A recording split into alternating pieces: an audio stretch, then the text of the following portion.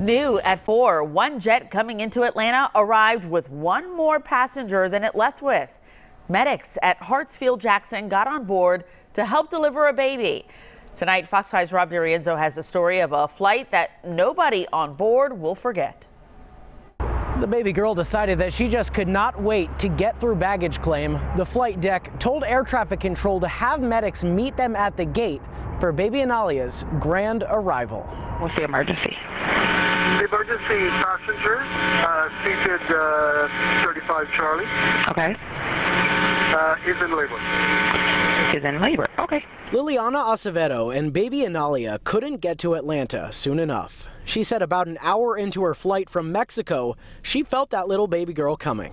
Yeah, I got a Delta baby on the way. Okay. A nurse on board helped her to the back of the plane and gave her oxygen. He was like, don't try to push because if you push more, the baby will come out. So I hold those contractions for like three hours and 30 minutes on the way here. And when that plane finally touched down at Hartsfield Jackson, Atlanta Fire Rescue was waiting at the gate. When we uh, got to the uh, gateway, we noticed that the airplane was coming in exceedingly fast, faster than normal.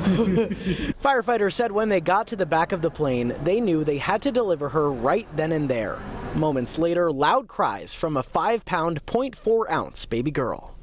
One of the uh, flight attendants got on the microphone and she was able to say, uh, Hey, we have a baby girl.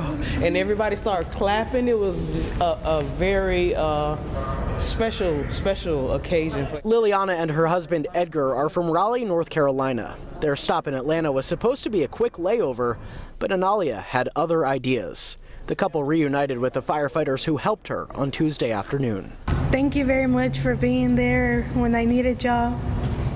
The family said doctors could clear them to bring baby Analia back home to North Carolina as soon as Wednesday. They say she's doing just great, she's healthy, and the parents, they're glad to be on the ground, but they're also on cloud nine.